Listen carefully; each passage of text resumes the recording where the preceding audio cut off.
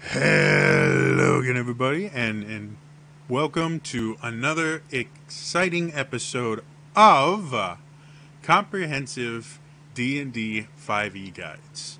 Uh, it's been a while si- since I've been able to do one of these. Um, if, uh, if if if you've been keeping up with my channel, um, uh, I've, I've I've had some some some health issues uh, that have been preventing me from from do, doing a lot of things, and um, I'm also uh, working on the capstone of my my uh, bachelor's degree. So, combination of of really bad health stuff and uh, capstone meant I, I didn't have a whole lot of time uh, to to do do stuff like this, but uh, it's it's been a while, and this is s- something that's that's been requested. So uh, yeah, and I'm I'm I- excited to do it. So I'm gonna see what I can get through. I'm, I'm not sure if I'm gonna ch- chop this up into two videos or or just do it as one, just because the the class itself uh, is kind of.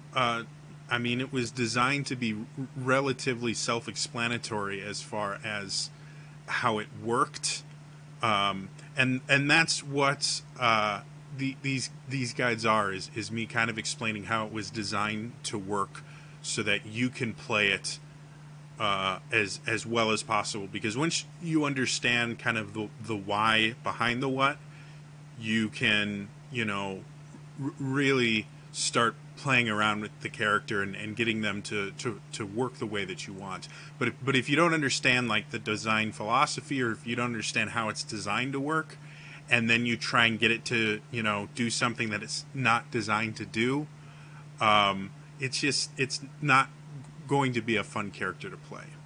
So anyway, um, the, the the the character that I'm uh, going to be uh, or the, the class I'm going to be talking about uh, is uh, a, a custom class that I designed over or uh, two years ago now. Uh, actually, uh, two two and a half years ago now. Um, and I, I, I published it on the DMs Guild. There'll be a link in uh, the description if you want to go and download it. But it's called the Dragon Knight. Um, and I, I want to start off with basically why I, I made the class.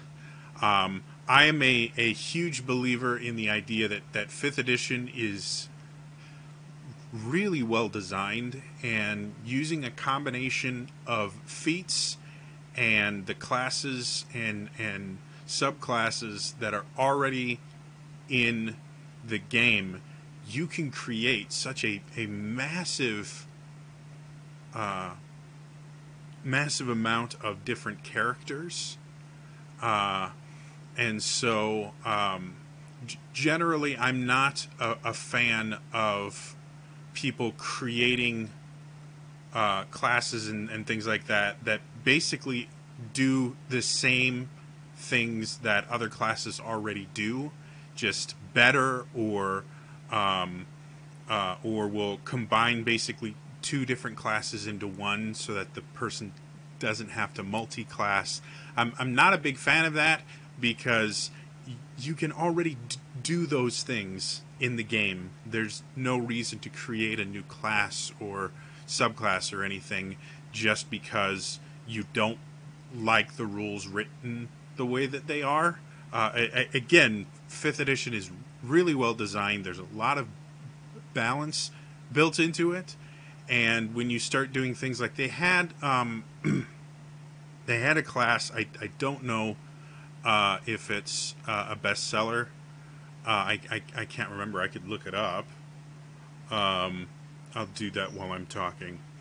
Uh, but anyway, they had this class called the Pugilist, and uh, and I was not a, a, a, a fan of it, simply because it was it was a barbarian and a fighter, is all it was. And yeah, it is a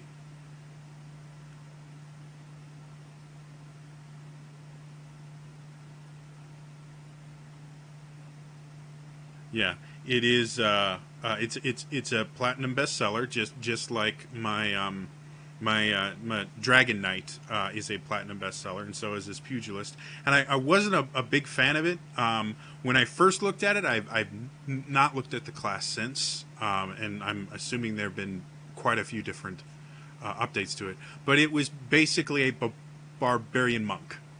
That's that's all it was was a barbarian monk. And if you looked through, uh, again, the original version of the class, if you look through it, they had rage, they had martial arts. They had ki. Like they could do everything a monk could do, or almost everything a monk could do, and almost everything a barbarian could do. Um, and to me, that's that's not that's not a, a, a, good design. You can already create that character with the things that you have. Um, uh, so so anyway, uh, back to the Dragon Knight. The the reason I made this is I uh, I'm a big fan of knights in general, like the idea of a person that um, makes a pledge to a, a, a, lord or a king or to some being um, to fight for them or to carry on their ideals or things like that. Um, and uh, dedicates their life to uh, the ideals or or the um, uh, the wants or needs of someone else. You know, to basically be their voice. Um, I really like that idea, um, and that already exists in D and D. They have uh, backgrounds you can take that kind of uh, let you uh, role play that aspect, and from from a mechanical aspect, if you are a warlock, uh, you actually are pledged to your your patron, and and they you know you you kind of have to do what they want, but it's it's not so much a I, I pledge myself to you. It's more of a, a tit for tat kind of relationship. It's like I want this and you want this, so we can work to, to, to together. Um, so they they had things like that in D&D, but they didn't have a way for you to really kind of serve a dragon. Um, and when you look at things like, uh, you know, the Dragonlance campaign setting, or even just uh, the the kind of the the Forgotten Realms, uh, dragons are a, a massive, massive part of that world and uh, they have uh, you know areas that they they rule over uh, and things like that. And uh, there are stories where uh, in in Forgotten Realms and in Dragonlance and and uh, a lot of other um, D and D worlds where you know entire groups of people basically you know serve and, and sometimes worship a, a, dragon because he's their ruler and everything. And you have good dragons and evil dragons and neutral dragons and things like that. But there was never uh, there there wasn't really a way to create a character that was a servant of a dragon. Um, other than just saying, "Oh yeah, I'm you know I, I, I work for the the big the giant gold thing over there that can breathe fire and melt us all. That's my boss." Um, and uh, I'm I'm also a, a, big fan of Final Fantasy in general, uh, and uh, a, a, game on the PS1 called The Legend of Dragoon, um, and uh, Breath of Fire, the Breath, Breath, of Fire series. All of those kind of um, influenced the design of this, where uh, instead of because to, to be blunt, dragons don't really need servants. They're super powerful, uh, and having just a, a single adventurer working for them basically uh, doesn't make a whole lot of sense because they're just not powerful enough. So that's kind of where the, the Dragon Knight came from was this idea of, well, wouldn't it be cool? Uh, um, Legend of Mana also had uh, two characters that were Dragon Knights, and and so wouldn't it be cool if uh, a dragon were to gift some of its Im- immense power because ancient dragons are really really powerful and a lot of times they not only have their their physical attributes but they're incredibly intelligent and have magic and all this. Um, so wouldn't it be cool if the dragon could gift just a, a small portion of their power on an adventurer, and then the adventurer would be that that dragon knight archetype, you know, where it's you know I serve this master, uh, and uh, you know, uh, uh and their gift to me for for serving them is this increased power, and so that's kind of where it came from, and then I had to turn it into okay, well, mechanically, what does that turn into? How does how does this uh, thing uh, w- work? And yeah, so um, like I uh, said before, in, in, in fifth edition, uh, and this is actually where I, I first learned this rule um, from one of my playtesters. Um, was um, in fifth edition, you really want to define what makes your class unique within the first two levels. And I flirt with that a little bit because the choice um, of uh, Dr- Dr- Draconic Calling at third level um, changes uh, how the uh, character is played and, and really, really defines the character. Um, but for the most part, most of the building blocks of the class are built into the, the first two levels, just like all of the core classes. And I also made sure that, despite the fact that you know they're getting this power from a dragon, which is an uber powerful uh, creature in in in D and D, um, that they were never going to be overpowered to where uh, if a dragon knight and like a fighter were both in the same round, you know, the Dragon Knight wouldn't be instantly, you know, uh, out out damaging uh, the fighter, making the fighter feel kind of useless for the the thing that that they do best, which is fighting. Um, so that's kind of where uh, I came from. Uh, let's let's get into the uh, uh, the Dragon Knight itself. Um, so the first things first, I I normally don't go over the like creation section of the classes because um, uh, the creation section is, is generally the same thing with every single class. It'll tell you your hit points and your hit dice. Uh, it'll tell you your proficiencies, and uh, it'll tell you your saving throws and skills. Uh, for every other class, that's that's 100% right. However, with the Dragon Knight, um, it, it is designed a little bit for you to kind of pick what you want, uh, kind of uh, create the class at level one with an idea in mind of what draconic calling you're eventually going to take. Um, and that's built into the the equipment section of the um, uh, kind of starting section of the class. Um, the the defining features, like if we if we talk about the rogue, remember the, the defining features are their their expertise. They're they're really good at certain things. Uh, their cunning action, which is what they get at second level, uh, which lets them use their bonus action to do crazy things, uh, and their sneak attack. Um, everything that a rogue does in their call uh, in their um, uh, in their subclasses in all the other features will relate back to one of those three things.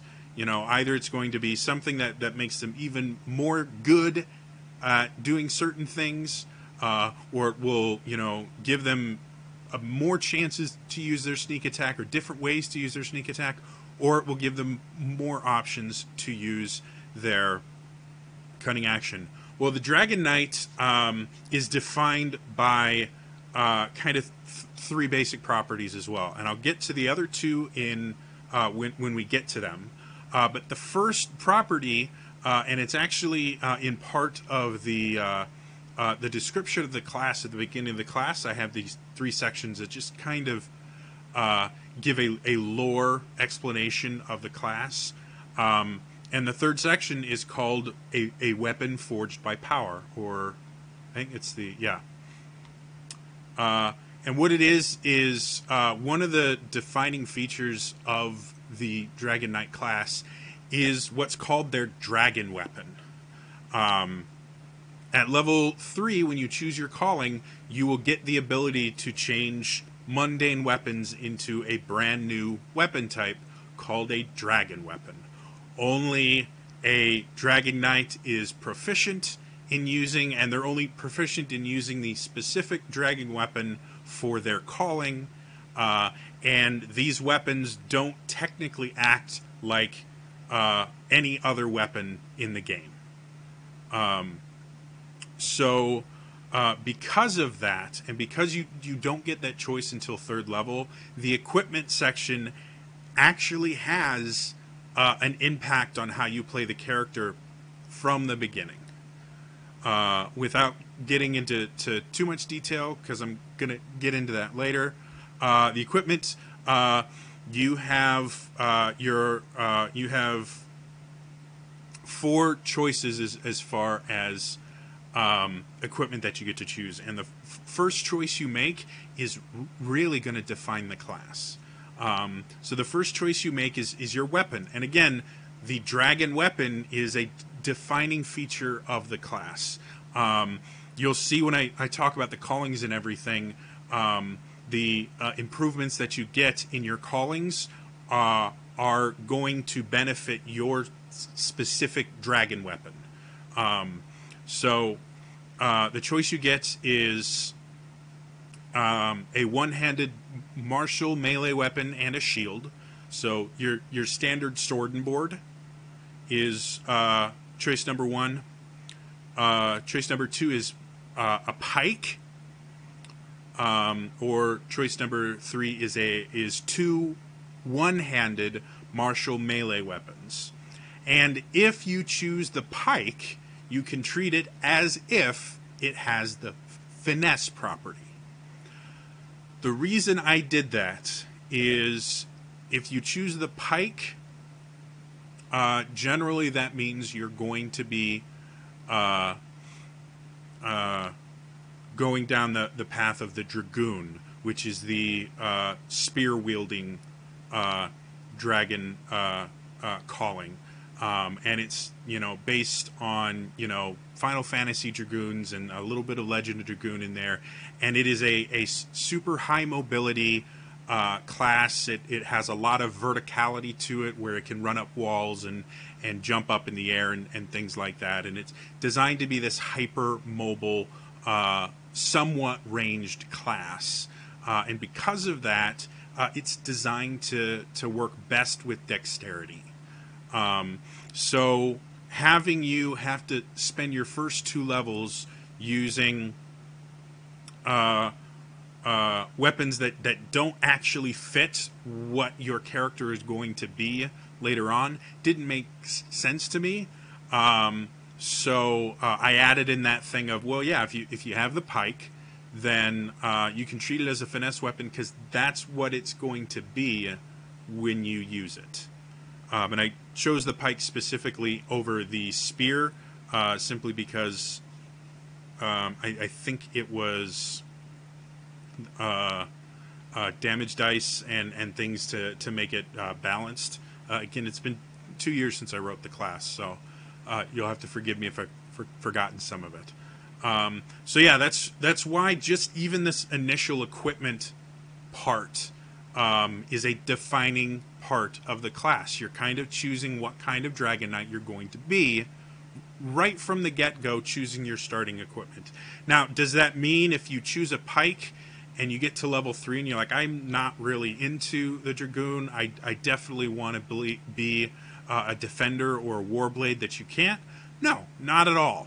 Uh, it just means that the first couple of levels you are playing your character a certain way, and once you choose your calling, it's uh, uh, uh, you're you're going to start playing your class a little bit differently, uh, is all. So, um, so that's that. Uh, the other one's the the one-handed martial melee and a shield. You know, again, that's the sword and board. That's designed uh, to go into the defender, which is the kind of very much tanky, defense-oriented, party helping class.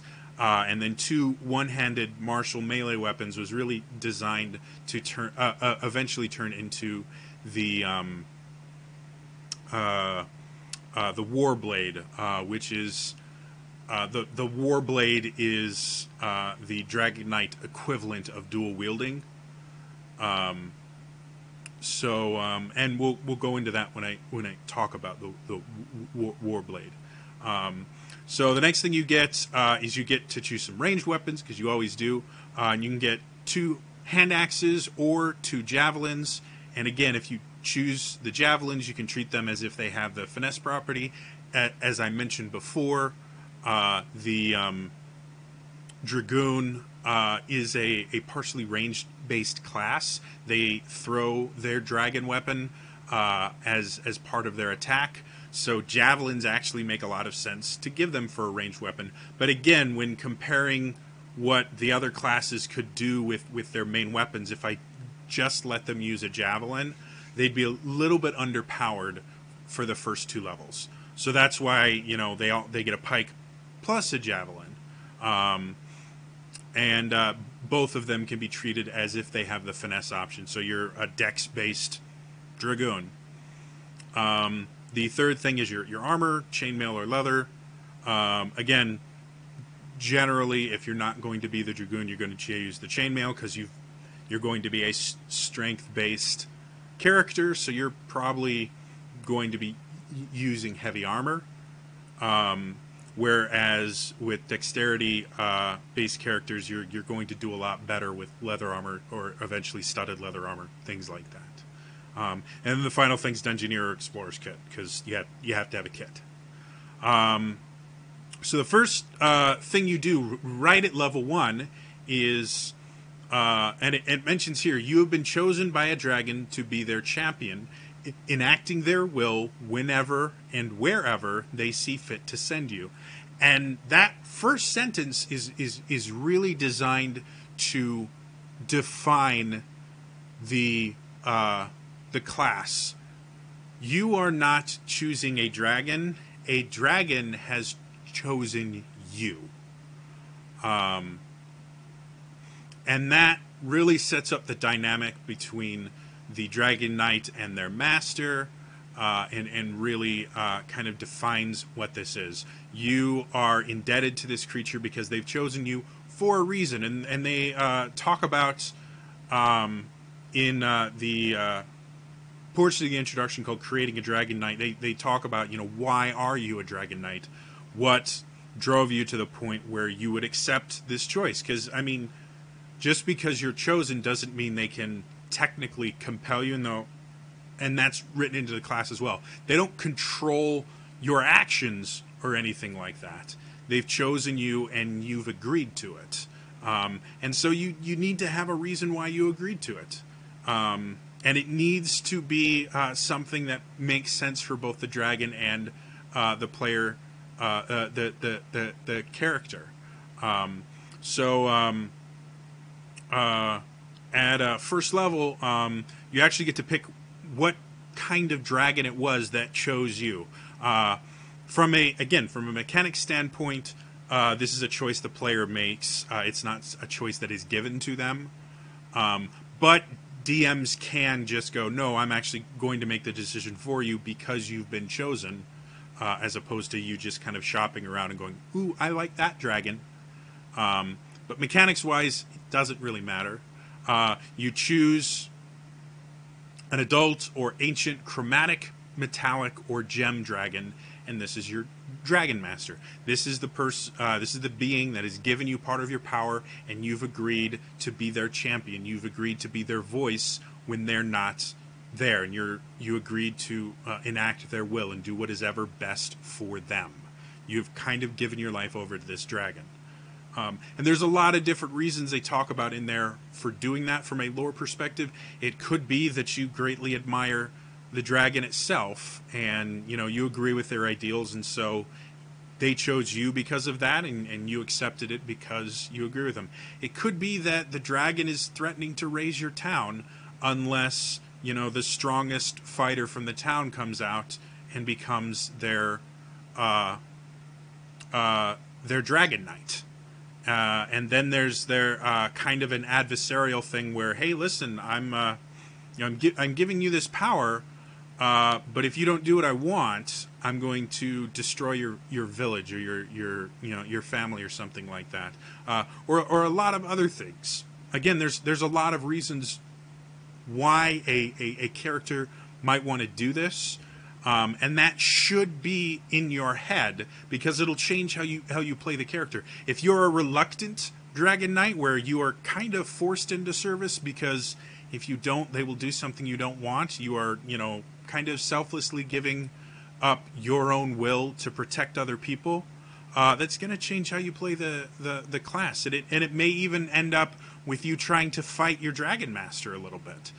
Um, one of the things uh, that I've, I've touched on in, in, in the comments on the, the DM's Guild, and I've I mentioned this to players, once you have been you know blessed by the dragon you know once they've given you that that gift and turned you into a dragon knight um, it's not like a warlock's pact where you are completely reliant like a, a warlock can't cast spells without their pact master.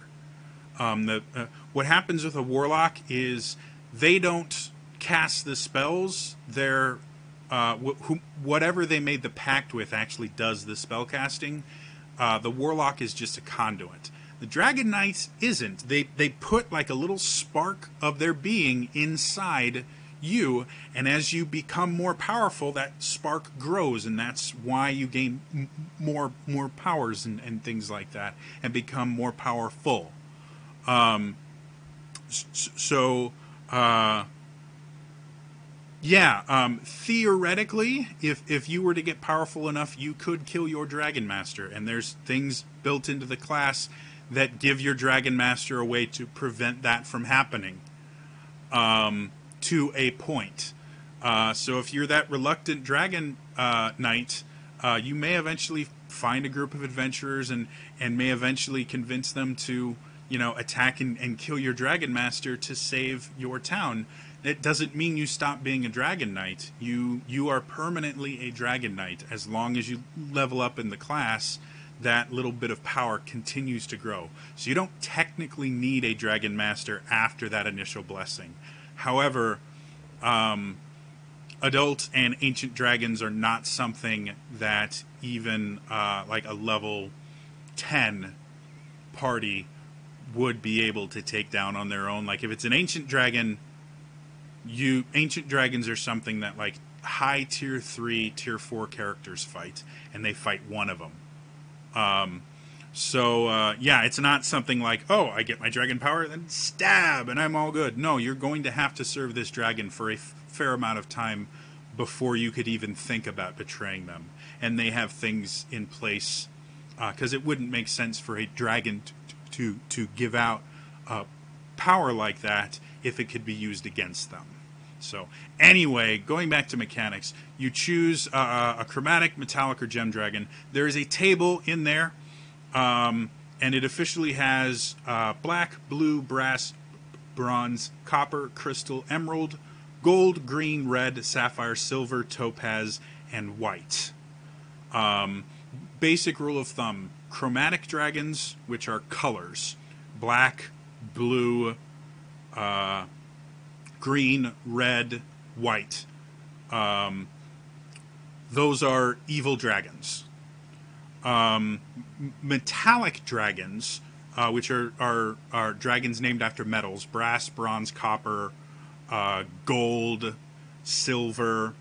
Those are um, good dragons. Um, and they actually have specific alignments. If you have the monster manual, you can look like uh, gold dragons are lawful good.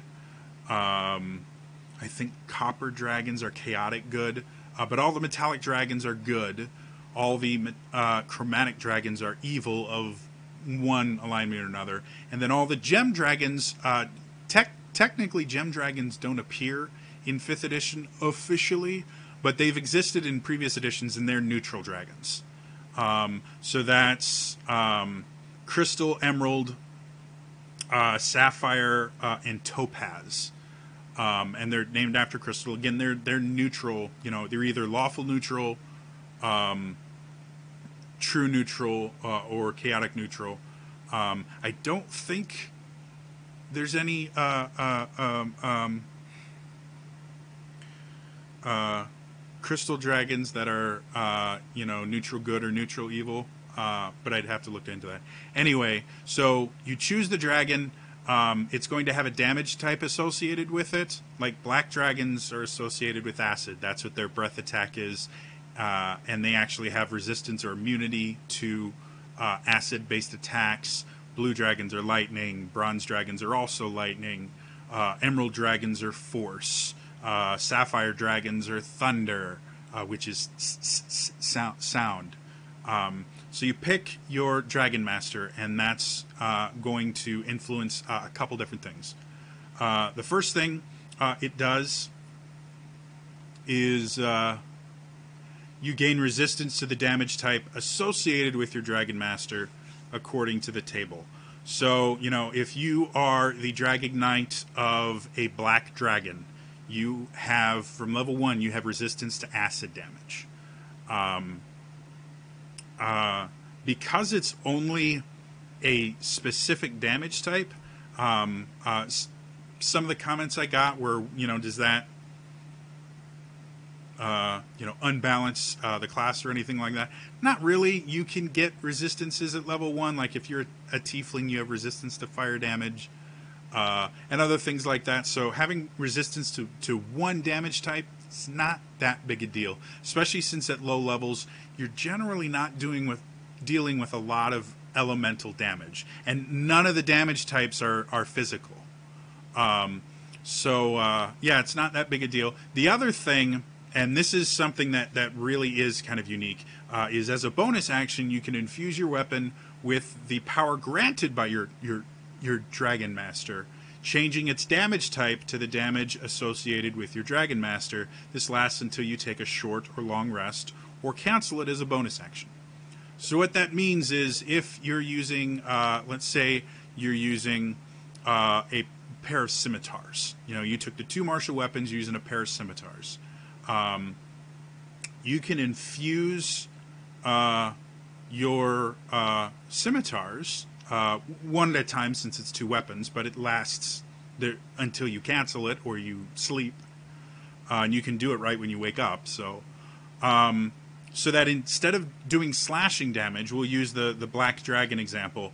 They do acid damage, um, and this uh, uh is a really uh, interesting thing because at low levels, um, you have uh, some creatures that are very very difficult for low powered parties because they will have a resistance to like bludgeoning piercing or slashing damage by non-magical weapons and nobody has magic weapons that low um, so you know giving you this ability to just change your damage type is really useful. Because you can only change it to one damage type it's not really game breaking but again it is something that that defines the class is this ability of okay I have a little more flexibility in, in my melee attacks than uh, like a fighter or uh, a rogue or something like that because I can make my melee attacks a different damage type.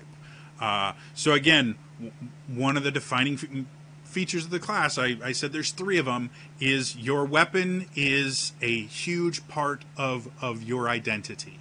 Um, and that is right here at level one. That's kind of uh, defined. You know, uh, you can change the damage type of your weapon uh, because it is a defining aspect of, of who you are and will become an even more defining aspect as you gain levels in this class.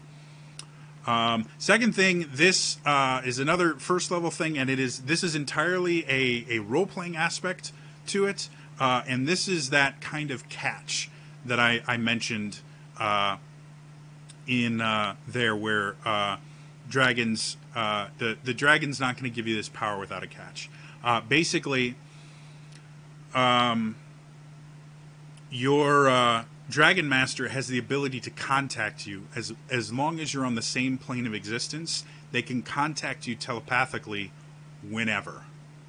Um, because uh, uh, I got some some playtest feedback that there were uh, people that were abusing this by you know anytime they would go up against enemies they'd just contact their dragon master and get all this information about their enemies because dragons are super intelligent um, I, I specifically made it that the Dragon Master has to initiate the conversation. Um, but once it's initiated, uh, they can communicate with you, and uh, they can even go as as far um, as uh, uh, being able to to see through your eyes and, and hear through your ears, uh, if you will uh, uh, allow them to do that. And if you decide to try and fight them for any reason, um, they they can actually force you to kind of give over control of your senses to them so they can see what's happening. So again, that's that's a control aspect. If they think that you're plotting against them, they can just dial into your head and see and hear everything that you're doing. You'll be aware that it's happening, um, but uh, uh, a lot of times their DC is going to be so high that you're not going to to be able to stop them. Um, another thing is if they uh, contact you and you don't answer back and try to ignore them, they can inflict levels of exhaustion. One level of exhaustion per minute that you're ignoring them. Um, exhaustion is a really big deal in fifth edition. It's one of the most dangerous status afflictions you can get because I, I can't remember off the top of my head, but it's either five or six levels of exhaustion, your character is dead.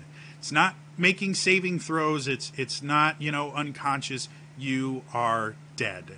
And even one level of exhaustion, you have disadvantage on everything but uh, uh, or on all ability checks. Once you get to two levels of exhaustion, uh, all your attack rolls uh, and I, I think saving throws too, I'd have to look at it again, are at disadvantage. That's a major deal. Um, and it just gets progressively worse.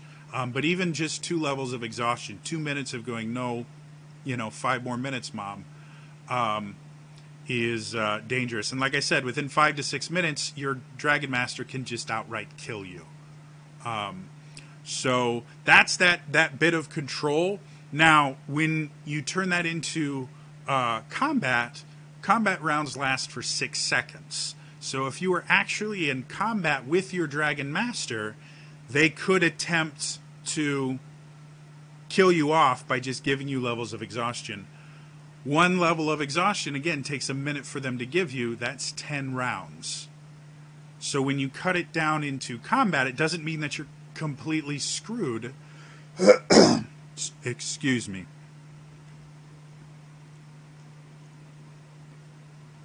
Much better. Um, doesn't mean you're completely screwed. You're just going to have to be much more powerful to fight your Dragon Master if you ever get to that point. Um, so that's what uh, uh, that is. Um, the other thing that's that's interesting about it is if someone attempts to read your mind while you're in contact with your Dragon Master, they basically get hit with uh, a frightful presence attack, which is uh, an attack that all dragons ha- have.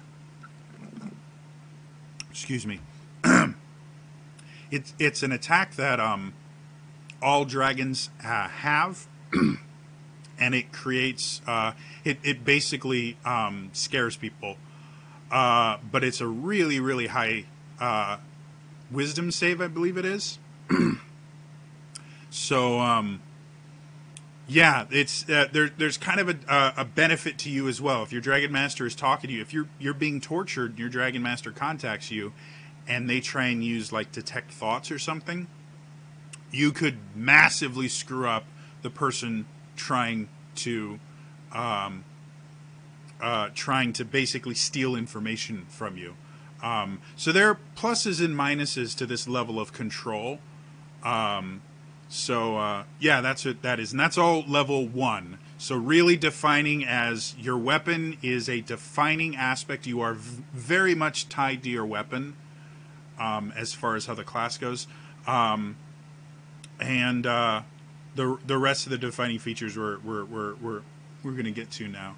Um, second level, you get the other uh, kind of really uh, defining feature are, are the, the, the next two defining features, basically, which are the um, draconic power points and um, your dragon die. Um, so those are the other two defining features of this class. Draconic power points are, are kind of like ki points, but significantly less uh, numerous. Um, at, at, max level, you only get six of them. Um, but you will use them to do all of the really cool Dragon Knight stuff that uh, you're eventually able to do. They're called dragon attacks. Um, and they can be everything from uh, the dragon attack you get here, which I'll, I'll, I'll explain in just a second, um, to um, you know things like you know jumping into the air and impaling someone with your spear, or throwing your double blade uh, in kind of like a boomerang type thing and hitting a bunch of enemies, or you know just rushing through an entire group of enemies with your paired shields, knocking them over or, or dragging them across the battlefield with you. Um, they're really, really cool things. They're generally pretty powerful. And uh, they're designed that if you crit with them, you do a lot of damage. The Dragon Knight itself uh, is really good with crits. Um, uh, a lot of the things that it does has multiple die uh, or multiple dice that you roll, uh, and with crits, for every die that you roll, you get to add a, a second of that die.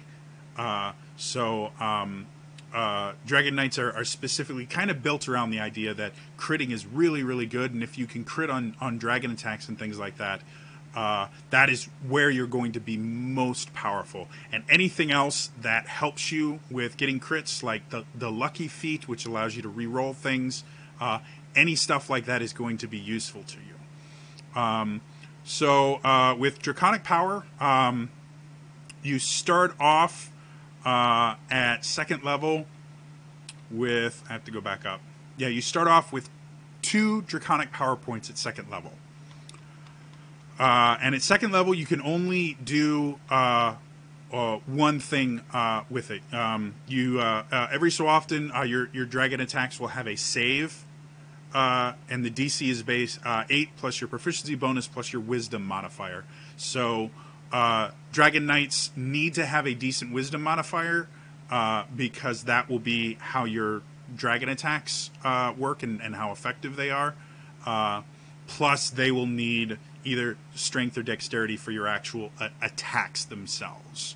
Um, so, um, the d- dragon attack that you get right at second level, which again is the other kind of defining aspect of this, these dragon uh, draconic power points that can be used for dragon attacks, is what's called dragon transformation. Um, when taking the attack action, um, so you have to make the attack action. You don't actually have to make the attack first. You just have to take the action as and as part of that action, uh, you can unleash your draconic power to transform into a dragon hybrid, in addition to making your attacks. Um, so what this is is this is quite literally, if, if you've ever played the Legend of Dragoon, they transform into their dragoon forms and they you know get cool armor and you know just look really badass and their weapons change heavily influenced us. So what it is is uh, you sprout wings from your back giving you a fly speed equal to your walk speed. Uh, and there's a little bit of information about what happens if your transformation ends while you're in the air because um, then you don't have a fly speed anymore um, so yeah you get to fly which is incredibly useful, especially for a second level character. Um, I will talk about how that's not massively overpowered in a second here. Um, but that's the first thing that happens is you get dragon wings, uh, and that's really badass. Um, each non-dragon attack weapon attack you hit with while transformed does additional damage. What that means is as long as you're not using a dragon attack, anytime you're transformed and you hit, you're going to just do extra damage. Um, the damage type is the same as uh, the resistance you gained as part of the Dragon Pact class feature. So, again, with that Black Dragon, you're going to actually do extra acid damage every time you hit while you're transformed. How much damage is it? Well, that's the third defining aspect of the Dragon Knight. You have this thing called a Dragon Die. It's kind of similar to the martial arts die from the monk, where it gets more powerful, uh, it gets larger as you get more powerful. Um, and it starts as a D4, uh, and it doesn't get quite as big as the uh, the monk. I believe it maxes out at a D10, um, which might actually be exactly what it is. But anyway, so um, so that means basically while while you're uh, uh, again, for example, with the uh, black dual scimitar wielding character, when you're transformed, ev- every hit from a scimitar is going to do 1d6 damage from the scimitar, plus your dexterity modifier because it's a finesse weapon, or your strength modifier. You can choose to do either, plus 1d4 acid damage. Um, so the, the first damage uh, might be acid damage if you've already transformed the damage type, or it could just be slashing damage. Uh, but the additional dragon die damage is acid, and it's a d4. So that becomes pretty darn useful. Um, so uh, the transformation gives you extra mobility, uh, gives you a little bit of extra damage, which when you get to higher levels, a d4 doesn't really mean a whole lot, which is why that dragon die gets bigger and bigger. Uh, it meant that I I didn't have to uh, rebalance uh, like uh, they do with cantrips and things like that uh, in fifth edition, where when you hit fifth level, it does this much more damage. When you hit with the dragon die just getting bigger as you level up, uh, I don't have to worry about scaling anything. It will auto scale everything that the class does, which also means the uh, the the dragon attacks that you get at like third level are still really useful at 17th level whereas a lot of times uh, like a wizard by the time they've hit 16th 17th level they're barely ever using cantrips um, they're mostly using their spells um, so this was specifically done you know so that uh, you're never feeling like the stuff that you earned uh, when you were a low level character isn't useful. You just get more and more tools in your toolbox that you can use. Um, so that's that. Uh, you gain resistance to bludgeoning, piercing, and slashing damage while transformed. That's literally that's just uh, very similar to the um, uh, barbarian rage feature. You know, that's I. It's the same basic thing, and barbarians get rage. Uh, at first or second level. So again, it's not something that's unbalancing the game at all. You're basically getting a, a similar feature to what a barbarian gets, uh, with a few changes to make sure that you're not going to be more powerful than a barbarian. Um, any other dragon attacks made while transformed score a critical hit on a roll of 18 through 20. So you have an expanded crit range only while you're transformed uh, for your dragon attacks. Uh, I'll, I'll explain the dragon attacks a little later, uh, but the dragon attacks require you to spend draconic power points. They're listed as dragon attacks in the document, uh, and they're the really cool things you get to do. So if you transform by using one of your uh, draconic uh, power points, um, and then make an attack while you're transformed, you have a significantly better chance of critting, which again fits into the idea of this class is is is meant to be a, a crit uh, you know a crit killer. When this class crits it it, it does major major damage.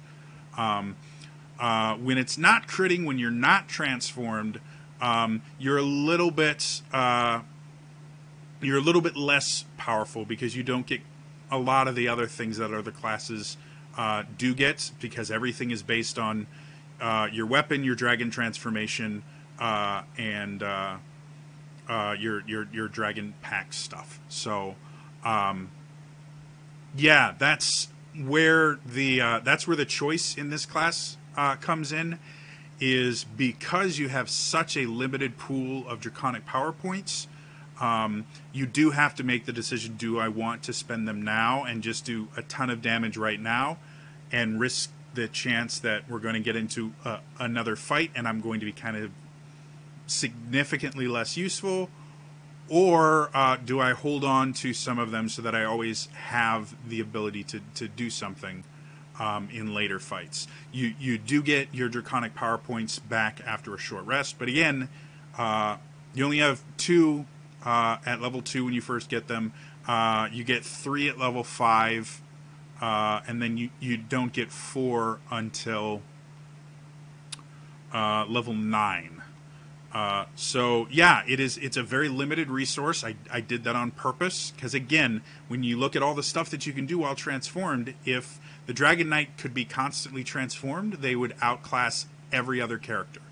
Um, so I had to put some very specific limits on what they could and couldn't do. Um, uh, the the transformation uh, again costs one draconic power point, and it lasts for 30 seconds. So compared to a barbarian, uh, whose rage lasts for a minute, um, yours is only going to last for 30 seconds. Um, and the other thing uh, I put in there is due to the demanding nature of this transformation, you must wait 10 minutes after the transformation ends before you can activate this ability again. Again, an, another kind of limiting aspect to it is, uh, and I wanted I wanted players to have a real choice to make um, regarding uh, the dragon transformation. Again, it's a really useful thing. It's a really cool thing from uh, a uh, uh, from like a lore perspective, you know, you, get this cool looking armor. Like you can you can call it whatever you want and you can describe it however you want. But I always kind of envision it as, you know, you get this really cool armor, you get these wings that split out, your weapon starts radiating a certain kind of energy. You look badass. Uh, and you can do all these cool things. Uh, so to kind of limit how uh, how much of a benefit you get from things like that, uh, uh, that's uh, that's where the it's it's only for 30 seconds, and uh, uh, you have to wait 10 minutes after it ends to do it again. So if you're in a dungeon and you get into a fight, but you know that there's another fight coming up, you may decide not to use your dragon transformation because if the next fight happens, you know, within a couple minutes, you're going to be kind of screwed because you can't use your dragon transformation. One of the kind of defining aspects of your class is that dragon transformation, dragon attack.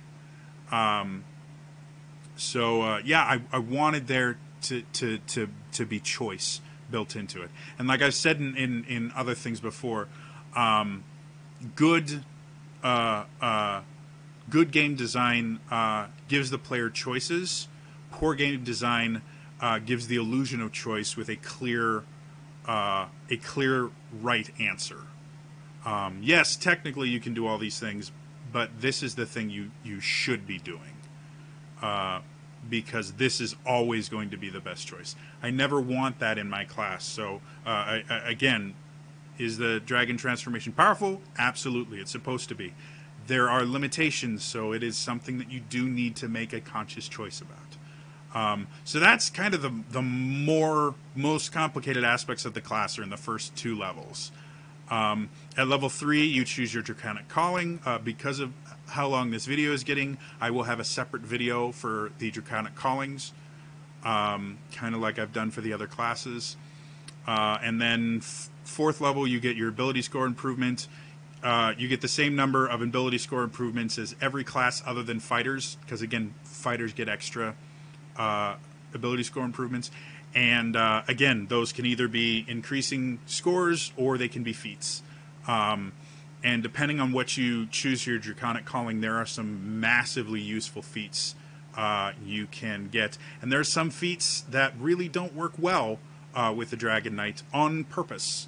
Um, so yeah, the that gives you a whole lot of nuance to, to how to play your your your, your Dragon Knight.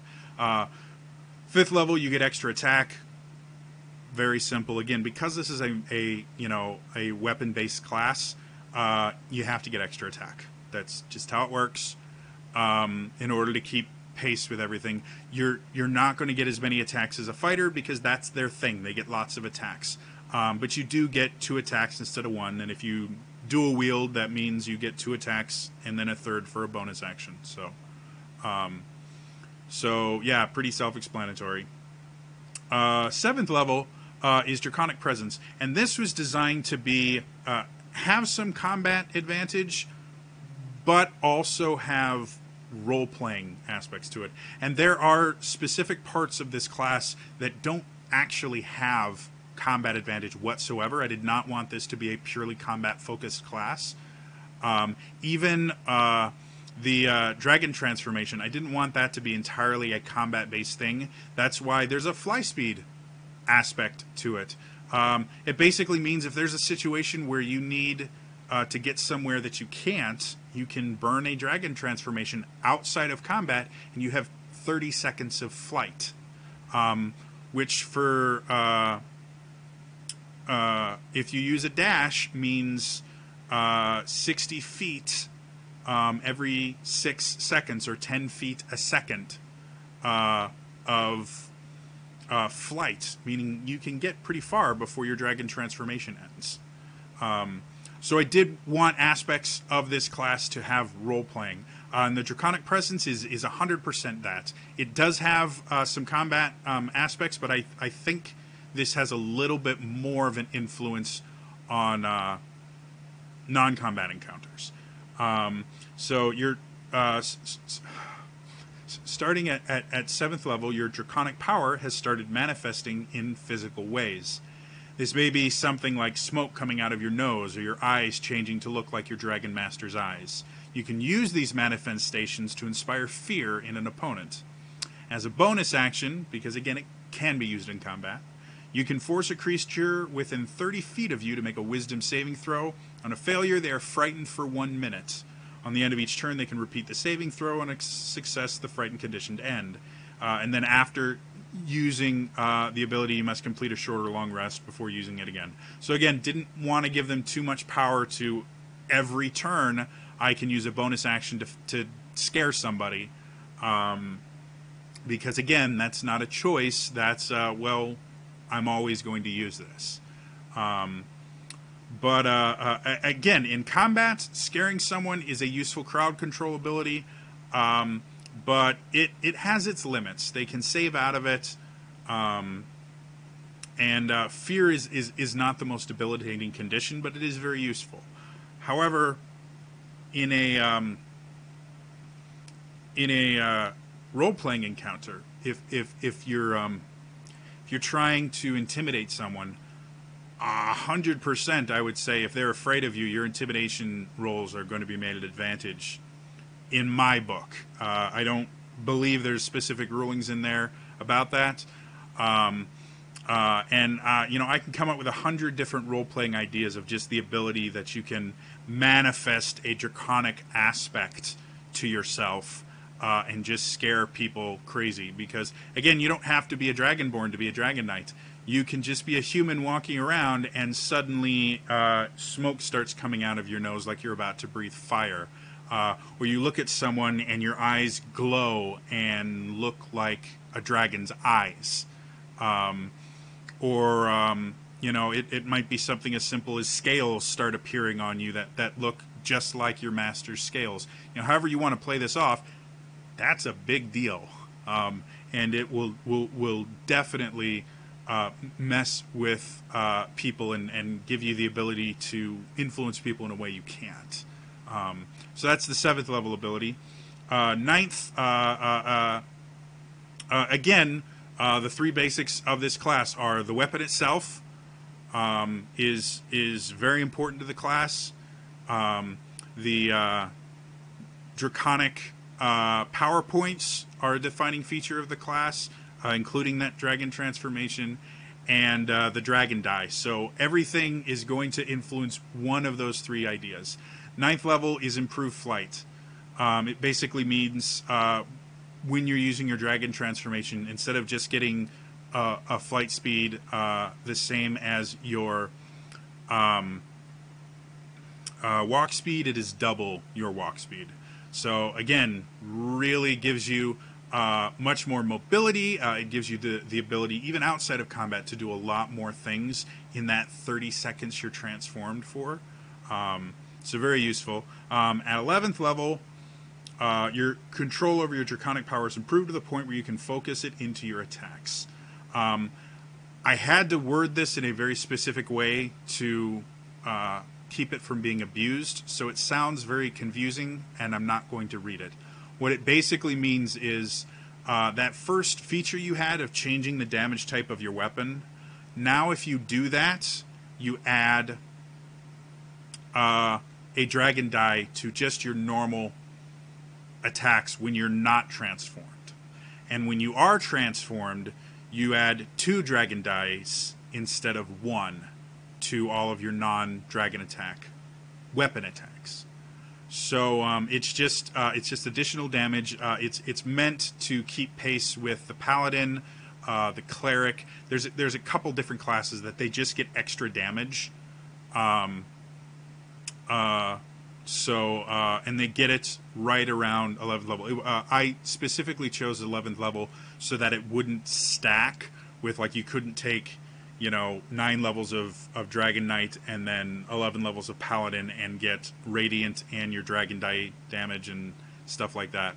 Um, so it's it's 11th level. It's it's meant to be something that um, uh, is not able to be stacked with the paladin's uh, divine something uh, ability but it it keeps your damage in line with paladins and clerics and the like uh, war clerics and things like that. Um, uh, 13th level, you get what's called extended transformation. It means you can burn two power points instead of just one and stay transformed for a minute instead of 30 seconds. Um, you still have that 10 minute cooldown period.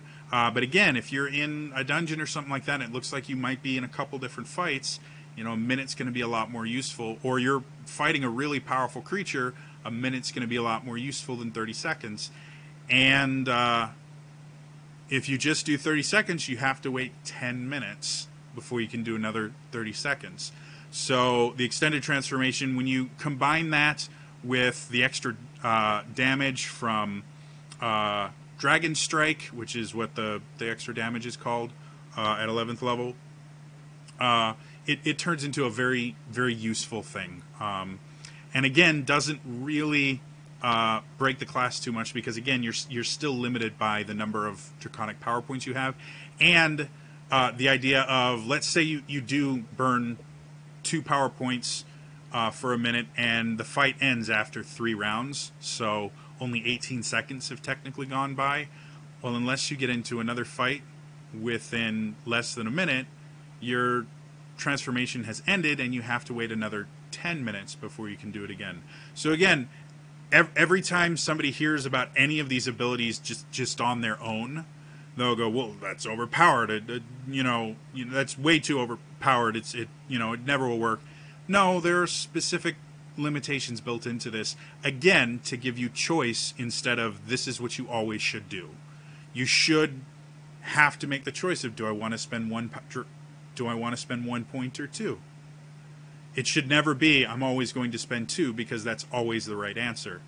Um, and uh, you know, I, I, I think this does that very well. Um, at 15th level, uh, basically the resistance that you got, like we if, if, we if we go back to our example of the Black Dragon Knight, um, they had resistance to acid damage at level one. At 15th level, you have immunity to acid damage. Um, again, uh, while some people may think, "Oh, well, that's too overpowered," it's not really. Um, monks get immunity to uh, poison damage at like level eight. Um, paladins, uh, I think paladins get it too as well. Um, around there, a little bit uh, after that. Uh, immunity to a single damage type is not that game breaking, but it is very much uh, in line with the dragons themselves, where you know, ancient red dragons, I believe, are immune to fire damage.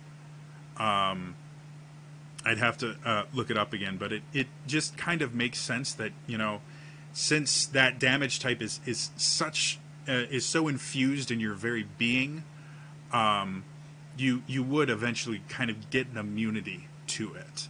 Um, so that's uh, and it's a 15th level ability. So you've been doing this for, for a while. 17th level, uh, your draconic power is now so infused into your being that it regenerates constantly. If you roll initiative and have zero draconic power points, you regain one draconic power point. Um, so once you get to like 17th, 18th, 19th, and 20th level abilities, they are massive, massive power leaps. These are the justifications for not multi-classing. Um, is the 17 to uh, 20 abilities um, because once you hit 17th level, um, that means uh, generally if, if, if you're multi-classing for more than like one or two points, like if you only multi-class one level, uh, you still get all of the ability score improvements that you normally would because 19 is where you get your final ability score improvement in every class. So if you only take one level of uh, a class, uh, you only lose their ultimate ability. That's that's all you lose. Um, as soon as you take two, uh, you're losing an ability score improvement. So most people, if they take two, they'll generally go up to four, so they can get that final ability score improvement and get another feat or just improve something to maximize their character. So everything from 17th level up uh, basically means you have foregone the ability to do that in another class. Um, and so you kind of get rewarded with it. So with this, uh, I, I, basically took it from uh, monks, where if they, uh, I think it's 18th level for them that they get this, uh, or I can't remember where they get it. It, it might be their their their ultimate. Uh, but basically, uh, if you start combat, roll initiative, um, and you don't have any power points left, you can get one back. Um, again, uh, one draconic power point. Uh, at this point, uh, I, I, believe at 17th level, you have either five or six. It's you know you're you're kind of limited in what you can do, but it's still going to make it so you can continue doing all the cool Dragon Knight stuff that you want, and it lets you use those points a lot more. Um, because again, that is a defining feature of the class. Those draconic power points, the transformation, that's part of the meat of this class. Um, so yeah, that's the 17th level, and then the 20th level ability um, was was actually suggested by someone on the DM's Guild page. They go, well, "What happens? Um, what happens when you die? Because if you know if you form this this bond with your Dragon Master and you get to level 20 and you don't kill them, you know you have you know you've served this dragon." Uh, uh, eventually, you know they're they're going to care about you too, and so this idea that dragons live for thousands and thousands of years, um, and so this idea of them creating, uh, you know, giving a portion of their power to a mortal race, uh, and then having to watch that race age out and die, uh, is is really sad for the dragon master. Uh, so basically, if you hit twentieth level, um, you basically stop aging. Um, you can't die f- from old age while your dragon master lives. Um, upon their death, you continue to age as you did before. Um, so basically, once you hit 20th level, you stop aging. Um, uh, simply because, uh, so you can, you know, basically serve your dragon master for the entirety of their life, not just your life. And you know, it was it was uh, again, it was it was brought up by someone on the DMs Guild. I'm like, you know what, that makes a lot of sense. Um, mechanically, doesn't mean a whole lot. Um, but from a lore perspective, it's it, it's kind of cool. Uh, then the other thing you get, this is the only other dragon attack you get from the base class. All your other dragon attacks, because they're based on your weapon, uh, come from your draconic callings. Um, you get the Dragon Breath dragon attack. Um, as an action, you can spend four Draconic Power Points. At level 20, you have six. So that is the majority of your. Uh, that's, that's more than half of your Draconic Power Points to unleash a lesser version of their breath weapon. If you're not familiar, uh, I actually uh, I did these calculations based on the ancient dragon versions of these, and I balanced all of them so that even though they use different uh, dice types, uh, they all do roughly about the same damage um, for the lines and roughly about the same damage for the cones. And the cones do less damage because they can hit more people. Um, but on that table at the beginning of the the uh, uh, thing, the dragon uh, dragon type table, uh, the third column of it is breath weapon, and it will tell you uh, for the black dragon we're talking about, uh, you have acid breath that you can do. It is a 90 foot line that is 10 foot wide, and it does 8d8 damage. Um, I don't specifically list it in here, and I, I may have to. Um, uh, I may have to, to modify this. It was it was meant to be the same saving throw as an ancient dragon version of the breath weapon. Um, I forgot to write that in. Uh, most of them are going to be dex based. There are going to be a few that are constitution based. Um, and I, I think that's it. There's no psychic damage, so it's either going to be dexterity or constitution. And I, I think the only ones that would be constitution would be thunder, uh, cold, and poison. Everything else would be a, a dexterity saving throw. But again, it's a 90 foot long line that's 10 feet wide. You can get a lot of people in that. Or uh, any of the co- co- cone based ones are a 90 foot cone. Um, they do a little bit less damage, like um, the equivalent. Uh, I don't have an acid one, uh, but the equivalent would be like a Sapphire Dragon's Thunder Cone would be 68. So instead of 8d8 damage, you do 68, but it's a 90 foot cone. So it's a cone that at its widest point is 90 feet wide and it's 90 feet long.